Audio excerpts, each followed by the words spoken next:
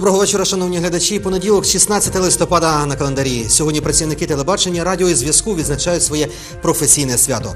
Від сьогодні інформаційна служба телеканалу Миколаїв виходитиме в ефір в оновленому форматі в новій студії. Відтепер ще більше інформації, ще більше цікавих, неупереджених е, і об'єктивних новин. Саме зараз час підбити підсумок першого робочого дня тижня поточного. Акценти дня сьогоднішнього стисло. Миколаївська міська виборча комісія оголосила результати другого туру виборів Миколаївського міського голови. Офіційно ним став Олександр Сінкевич. Близько 100 бійців 36-ї окремої бригади морської піхоти військово-морських сил Збройних сил України склали іспит на право носіння чорного берета. Акція Є хліб, є життя у Баштанському районі. Отже, Миколаївська міська виборча комісія оголосила результати голосування в другому турі виборів Миколаївського міського голови. Офіційно ним став Олександр Сінкевич. Участь у голосуванні брали майже 150 тисяч миколаївців, що становить 39,75%. В цілому явка виборців у другому турі місцевих виборів по всій Україні становить 34,08%. Виборча комісія працювала всю ніч та оперативно обробляла дані, які надходили з виборчих дільниць. Під час прийому протоколів з мокрими печатками з'ясувалось, що на одній з дільниць були переплутані наліпки на конверти з кількістю недійсних бюлетенів. Це з'ясувалось, коли були підвезені протоколи. Але на законодавчому рівні проблему було вирішено. Це єдиний випадок, коли виникла суперечка. Тому результати оголосили швидко. За Олександра Сінкевича було віддано 80 тисяч 636 голосів. За Ігоря Дятлова – понад 63 тисячі. Різниця між кандидатами становила 17 тисяч 69 голосів. Керуючись статтями 25 85 закону України про місцеві вибори, Миколаївська міська виборча комісія Миколаївської області постановляє перше визнати обраним Миколаївським міським головою Миколаївської області Сінкевича Олександра Федоровича 1982 року народження, освіта вища, член політичної партії об'єднання самопоміч, директор ПП Леда, місце проживання Місто Миколаїв, суб'єкт висування Миколаївська міська організація політичної партії об'єднання самопоміч. Юлія Анісімова, Андрій Заворотній, телевізійні новини Миколаївщини. А ще оголошення офіційних результатів не відбулося. Миколаївці вже почали вітати Олександра Сінкевича. Причому відбувалося це не тільки у соціальних мережах та на офіційному рівні. Прямо на вулицях записували вітання новообраному меру. Біля штабу політичної партії самопоміч Олександр Сінкевич потрапив в міцні обійми своїх виборців. Спасибо, друзья. Это вся, это наша общая победа. И уверен, что э, я такие слова подготовил там в посте. Честно говоря, не успел выучить. Ну, на самом деле, Значит, на самом деле это наша общая победа. Уверен, что у нас с вами это, знаете, я не хотел бы пафосных фраз, но вспомнилась сегодня фраза Амстронга, который сказал, это маленький шаг для Сенкевича, но огромный... Так и сказал. Огромный шаг для Николаева. І саме зараз е, в нашій студії переможець другого туру виборів, кандидат на посаду Миколаївського міського голови Олександр Сінкевич. Дякуємо вам за те, що ви знайшли час тепер вже у своєму щільному графіку приїхати до нашої студії в прямому ефірі і поспілкуватись. Олександре, перше рішення Миколаївського міського голови Олександра Сінкевича. На чому ви будете робити акцент? Ну, мы будем э, делать акцент на аудите дел, которые сейчас нам передаются, то есть аудил, аудит коммунального имущества и земли, все то, что мы планировали делать в процессе своей программы. То есть будет избрана компания, которая проведет состояние, исследование состояния дел, которые происходят у нас сейчас в городе, в горосполкоме, в горсовете. Ну, говорят, э, кадры решают все. Как вы будете проводить кадровую политику? Было много разговоров о том, что Александр Сенкевич, мэр города Николаева, приведет в свою команду молодых э, людей, которые будут работать на благо города. И кто-то из старой команды останется? Ну, я уверен, что то, что я говорил во время выборов, останется на самом деле и, и в реализации, а именно э, открытый конкурс на все позиции. То есть люди, которые, э, с которыми мы шли на выборы, которые, как я говорил, скамейка запасных уже готова, но будут объявлены конкурсы, и в том числе люди, которые сейчас там работают в горосполкоме, смогут занять эти позиции.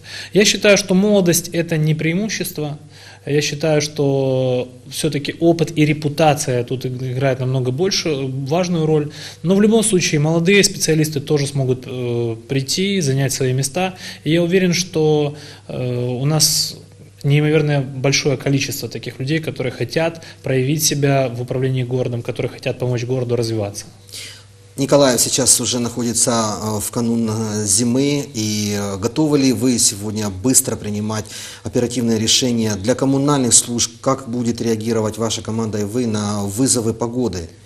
Ну, еще в прошлом году, по окончанию, ну, точнее, когда произошел этот э, известный всем снежный коллапс, э, мы выходили к действующему тогда на тот момент городскому голове Юрию Гранатурову с предложением разработать план борьбы со стихией. Этот план включал в себя и взаимодействие между структурами МЧС, тогда еще милиция, МВД, э, служб реагирования оперативного и даже, скажем, структур дельничных инспекторів.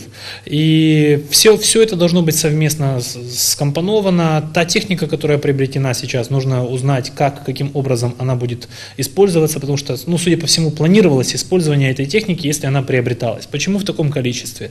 Почему так? То есть должен быть э, четко разработанный план, и мы сейчас этим планируем предложить вот тот план, который мы разрабатывали, э, по, скажем так, расчету протяженности трасс, которые нужно э, обрабатывать, очищать, техники, которые нужно задействовать для этого. Если техники не будет хватать, мы, конечно же, будем обращаться к эм, строительным организациям, к организациям, у которых есть эта техника, и будем разрабатывать план оперативного реагирования на данную ситуацию, чтобы их вовлекать, потому что ну, очень много техники в прошлый раз не вышло в канун праздника, в канун Нового года, именно потому что люди, которые как бы должны быть за ней закреплены, уже начали праздновать.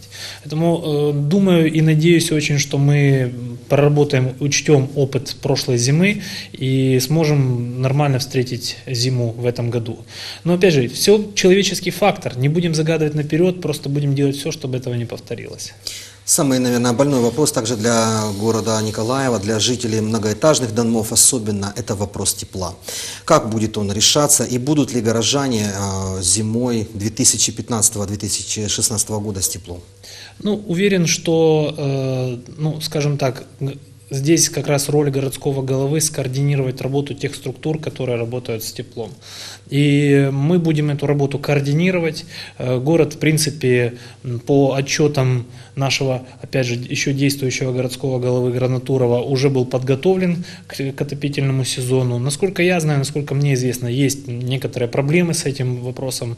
Но будем решать. И на самом деле я хочу, чтобы уже быстрее вошла, э, ну, скажем, в привычку, э, привычка вошла людей звонить на горячую линию и сообщать свои проблемы. Не возмущаться, просто сидя возле телевизора и кричать, а вот у нас там проблемы, а мэр их не решает. А чтобы люди звонили на горячую линию, линию чтобы эти вопросы фиксировались и чтобы потом за них кто-то отчитывался. Потому что они двигаются вперед или они не двигаются. И вот эту горячую линию, я думаю, мы будем раскручивать с первого дня, чтобы люди обращались, не, не думали, куда мне обращаться, если дерево там нависает над машиной, куда мне обращаться, если вот нет, нет отопления. Звонили в одну линию, а дальше уже разгружали эту линию по нужным структурам. Если позволите еще один вопрос. Э, для города Николаева также очень необходимо решать вопрос общественного транспорта. Как вы считаете, что будет более выгодным для горожан? Это все-таки маршрутные такси или коммунальный транспорт, автобусы большой вместимости и электротранспорт? Ну, э, сейчас я думаю, что в ближайшую вот зиму то, что касается транспорта, мы ничего не сможем э, сделать, но ближе к весне мы измерим пассажиропоток, привлечем всех студентов для того, чтобы определить, сколько людей, какие места, как это сделал когда-то Гройсман. И согласно этого проведем расчеты, узнаем, сколько нужно большегрузного э, больш... Э, транспорта большой вместимости и так далее. Но будем делать ставку на коммунальный транспорт. Ну и самое главное, сегодня работники телевидения, радио и связи отмечают свой профессиональный праздник. Ваши пожелания? Я желаю вам всего наилучшего, желаю вам крепкого здоровья и э, вот, вот этих позитивных эмоций, которые вы дарите нам с телевизора, чтобы они лились и заряжали людей, чтобы, несмотря на свою тяжелую жизнь в наше время, чтобы какая-то надежда и э, радость все-таки людей сопровождала. Благодарим вас, Олександр. Это, це був в нашій студії переможець другого туру виборів, кандидат на посаду Миколаївського міського голови Олександр Сінкевич. Ну а ми продовжуємо. За годину після закриття виборчих дільниць в штабі політичної партії «Самопоміч» з журналістами зустрівся знову таки кандидат на посаду міського голови Олександр Сінкевич. Як це було? Далі в матеріалі. Поки чекали на початок прес-конференції, то чули з сусідньої кімнати, де працюють штабісти Сінкевича, радісні вигуки. Їх кандидат впевнено лідерував. Збирали останню інформацію, яку і оприлюднив Олександр Сінкевич. Розповів цікаві факти. За день до початку голосування штаб залишився без трьох сотень волонтерів. Чому вони пішли, люди пояснили так.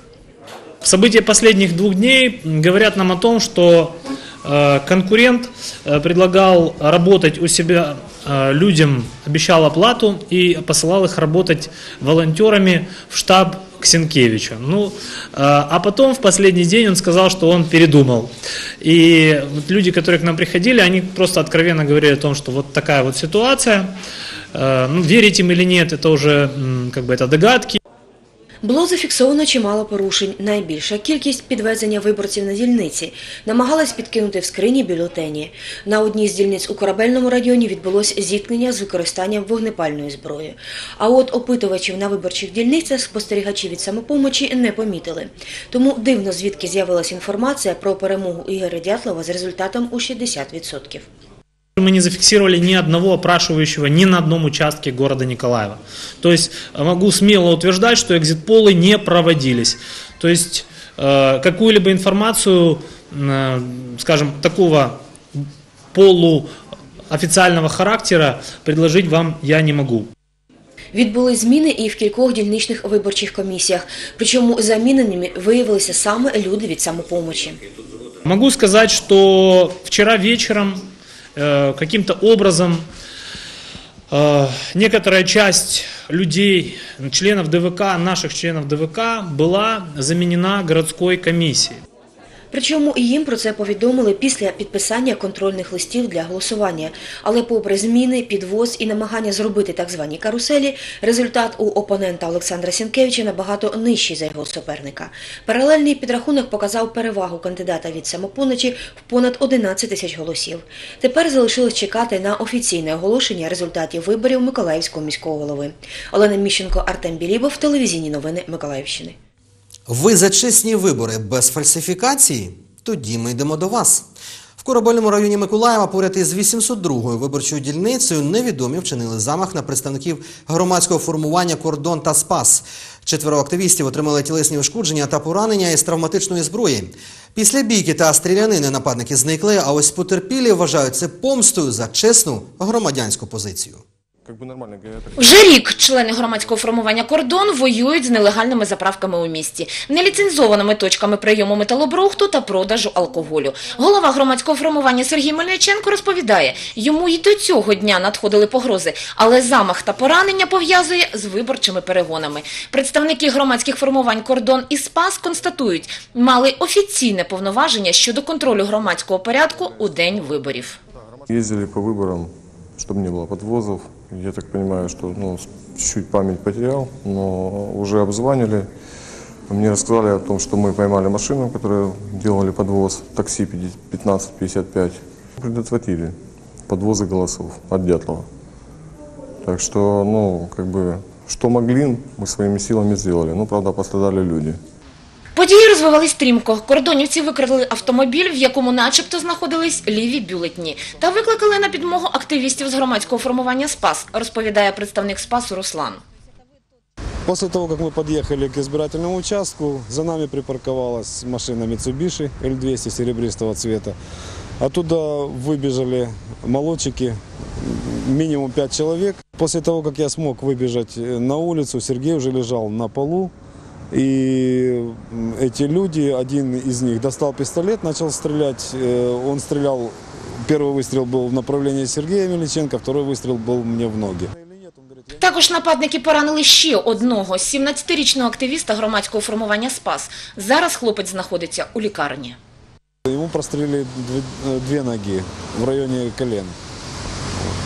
сейчас его состояние? Ну, сейчас состояние как бы среднее, стабильное. Ему надо сейчас оказать помощь, то есть отвезти его в Херсон, потому что операции у нас в Николаеве такие не делаются. Изъять э, эти резиновые э, боезапасы из э, ног. Під наглядом медиків також знаходиться кордонівець Сергій Мельниченко. Лікарі констатують, у активіста черепно-мозкова травма, струс мозку та часткова втрата пам'яті. При поступлении сознание спутанное, случается мало что помню и так далее. Вот потом уже постепенно начал приходить в себя, но в настоящее время он уже ориентированный. Вот, обследование проходит, У поліції зазначають, з місця події правоохоронці вилучили гільзи попередньо з травматичної зброї, оглянули пошкоджені транспортні засоби активістів та склали протоколи. Правоохранителям собираются материалы. Предварительная квалификация события 296 часть 4 Уголовного кодекса Украины хулиганство, санкция которой предусматривает от 3 до 7 лет лишения свободы. Миколаївські активісти обурені. На їх думку, це замах на життя, а не хуліганство. Тут явно какая-то группа лиц, им стреляли, их хотели убить, одного из них как минимум стреляли в лицо. Какая может быть хулиганка? Здесь должно быть, э, должна быть политическая воля и нынешней власти, и работников МВД открыто, прозрачно навести порядок в городе. Криминалитет должен остановиться, он не будет править в нашем городе. Наталія Ічкалова, Андрій Заворотній, телевізійні новини Миколаївщини. А про те, як відбувався процес голосування у сусідньому Херсоні, репортаж наших колег із телерадіокомпанії Скіфія. На годиннику 7.45 пан Анатолій з дружиною Тетяною чекають, поки запрацює дільниця номер 650-737, що розташована на території музичного училища. Втім, двері рівно о восьмій не відчинили. Пан Анатолій, хоча й поспішав, але тривогу не бив. Через 10 хвилин люди вже мали змогу увійти, аби віддати свій голос. Я раненько утром пришел, потому что я торопился на работу и на 8 часов пришел, чтобы проголосовать. Голова виборчої дільниці пояснює, не запрацювали вчасно через технічну помилку у контрольному листі. Ну, у нас произошли э, некоторые э, заминки с э, вкиданням э, контрольного листа, е, оскільки е, неуважно роздивились номер. Тому е, прийшлось е, відкривати і перепломбовувати скриньку номер один, яка готувалась на виїзд. Усього на цій дільниці близько півтори тисячі виборців. Зранку напливу людей не було. Віддати голос йшли переважно пенсіонери. Серед них і пан Анатолій, який запевнив, що у другому турі підтримує того ж самого кандидата у мери, за якого голосував і 25 жовтня. Перший раз голосував за кандидата на е, міського голову і зараз. І один і той же кандидат у мене. В мене других змін немає. Чого хочу? Хочу змін в лучшу сторону, та як і всі. Щоб порядок в місті був, щоб дороги були хороші, щоб тепло було. Хочу, чтобы Херсон процветал, был самым лучшим городом на Украине, как он и раньше был, зеленым, богатым. Мы хотим, во-первых, чтобы было тихо, спокойно, чтобы не было войны, и чтобы наш город процветал. И на это надеемся. На виборчій дільниці номер 650-622, що розташована у бібліотеці Гончара, члени комісії нарікають на малу явку виборців. Із 1360 зареєстрованих на 9 ранку проголосувало лише 10 осіб. В основному це люди похилого віку, втім серед них була і молода мама. Все из-за него. Просто время уже как раз идти гулять, скоро спать, поэтому вот раненько так. Мне как молодой маме очень так сказать, вопрос такой наболевший, это в основном медицина наша. Ну и я как медик тоже знаю как многие проблемы у нас в медицине в городе. И также, ну, основные? Возможно, с транспортом еще. Ну, Это тоже хотелось бы получше и обслуживание, если уже цена пусть уже будет, ну хотя бы сервис, чтобы был более благоприятный. Через малу кількість виборців у членів комісії після закінчення голосування роботи буде небагато. Кажуть, цього разу до пізньої ночі навряд чи працюватимуть. Скорее всего, мы рано посчитаемся, быстро посчитаемся. Комиссия у нас молодая, активная. Рано выйдем.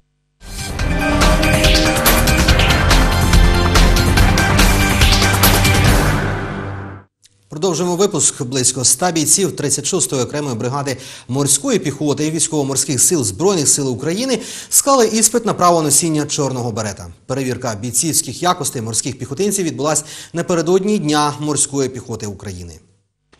Іспит відбувся на Тернівському полігоні під Миколаєвом, а також на березі річки Південний Буг. Частина бійців кримчани, котрі навесні минулого року не підтримали анексію півострова і виїхали на материкову Україну. Дехто вже навіть отримав бойове хрещення в зоні АТО, але хлопці переконані, право носити чорний берет можна заслужити лише пройшовши смугу перешкод. Я считаю, что берет морского пехотинца имеет право носить только тот, кто сдавал полосу препятствий. Да, у нас есть боевое крещение, нам сказали, что мы можем не сдавать на берет, можем его, имеем право его носить уже так, но мы с ребятами посчитали, что имеет право носить берет морского пехотинца только тот, кто прошел полностью полосу препятствий. Бійці мали подолати смугу перешкод розвідника, здійснити марш-кидок на 4 кілометри та пройти яму з водою, не втративши і не пошкодивши автомат. Сохраняйте оружие свое!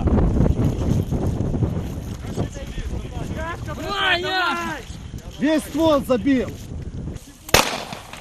Мне совсем хватит!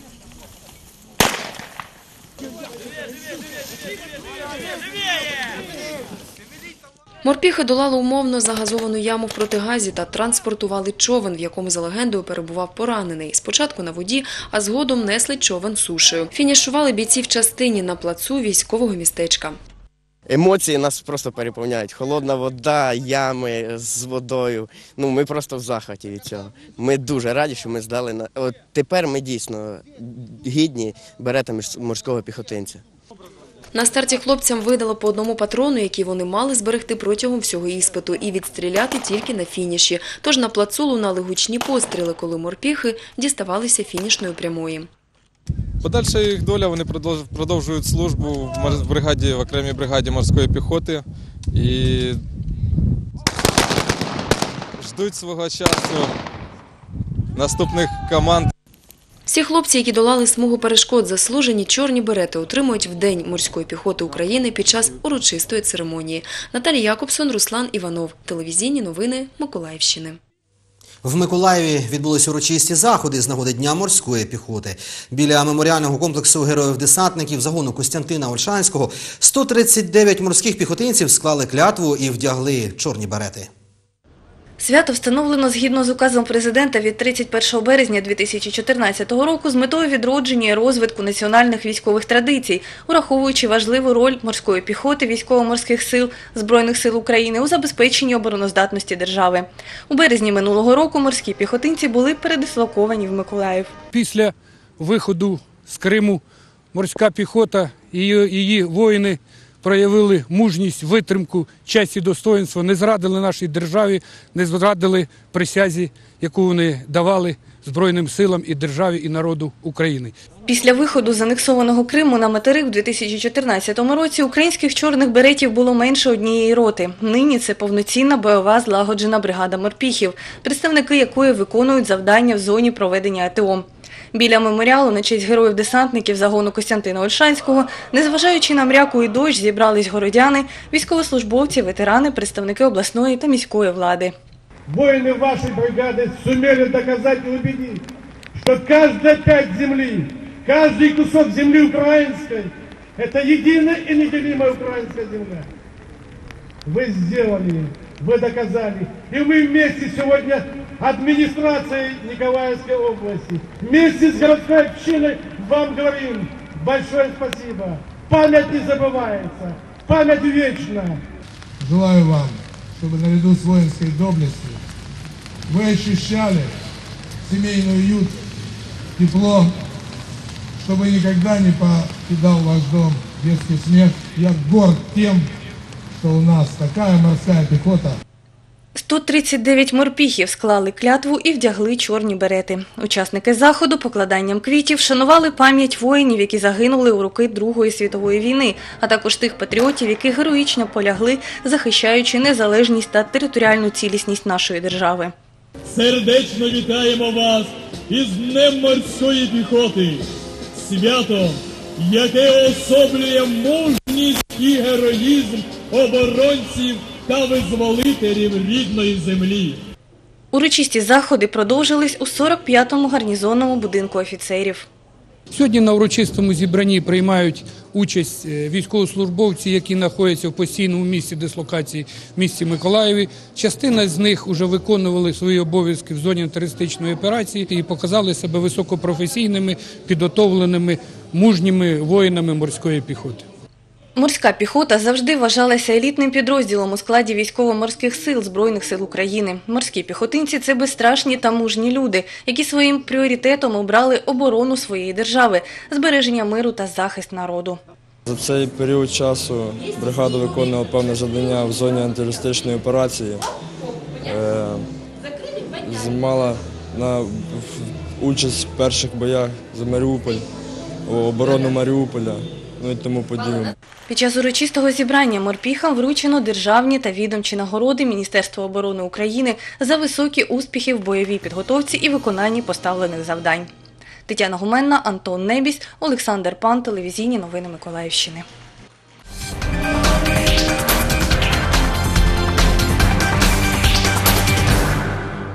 І на Миколаївщині триває загальнообласна акція Є хліб, є і життя. Про свої здобутки в галузі освіти, соціальній сфері, культурі та економіці звітувала Баштанщина. Як згодом скажуть члени делегації, які приймали звіт цього району, у баштанців є власний почерк і особисте ставлення до рідної землі. Все те, що побачили гості, заслуговує на вивчення досвіду і повагу. Членів Миколаївської делегації баштанці зустрічали двічі. Теплий прийом спочатку влаштували жителі Доброї Криниці. Поважних гостей частували власноруч приготовленими наїдками і напоями. На в'їзді до Баштанки на гостей чекали представники районної та міської влади. Перше місце зупинки учасників обласної акції Є хліб, є життя. Баштанська загальноосвітня школа номер 2 І не випадково. Інноваційний заклад освіти є постійним учасником і переможцем всеукраїнської виставки Інноватика в освіті.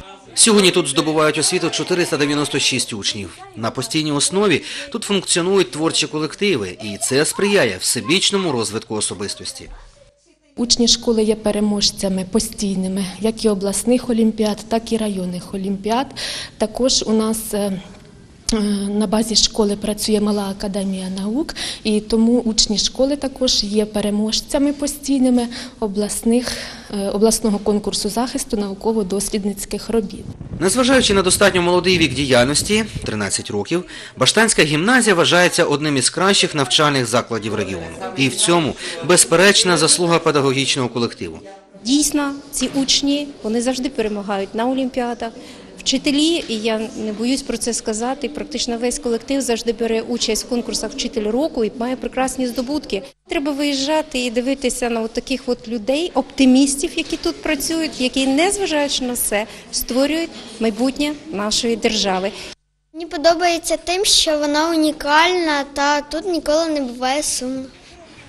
З родинним теплом і увагою баштанці ставляться до людей похилого віку. П'ять років поспіль тут функціонує територіальний центр соціального обслуговування. На його базі діють п'ять відділень. Громадяни, які звертаються по допомогу, отримують побутові, медичні, психологічні, інформаційні послуги, а також натуральну допомогу. Це послуги по ремонту взуття, ремонту одежі, послуги по е, перукаря, послуги ремонту радіотелеапаратури. Протягом декількох годин на сцені Баштанського палацу культури розгорталось феєричне дійство. Приголомшлива хореографія, вражаючі вокальні номери. Урочиста мить передачі рушника єдності від Баштанського району до Жовтневщини змушували прискорено калатати серця глядачів і зустрічати кожну мить бурхливими оплесками. І ті школи, ті гімназії, які сьогодні ми побачили, це взірець для наших міських, е, нашої міської влади, міста Миколаєва. Я би дуже хотіла, щоб е, люди, які працюють в містах, е, побачили як взірець наші райони, наші села, як працюють. Загальнообласна акція «Є хліб, є життя» триває. Рушник єдності як символ української державності Баштанщина передала своїм сусідам, жителям громади Жовтневщини. Павло Москальов, Ігор Дорошенко, телевізійні новини Миколаївщини. Ось такими були події понеділка, е, 16 листопада, поглядом журналістів телеканалу Миколаїв. Я хочу сказати, що сьогодні у нас професійне свято. Від сьогодні ми для вас будемо працювати у новому форматі в новій студії. Залишайтеся з командою інформаційників телеканалу Миколаїв. До зустрічі в ефірі.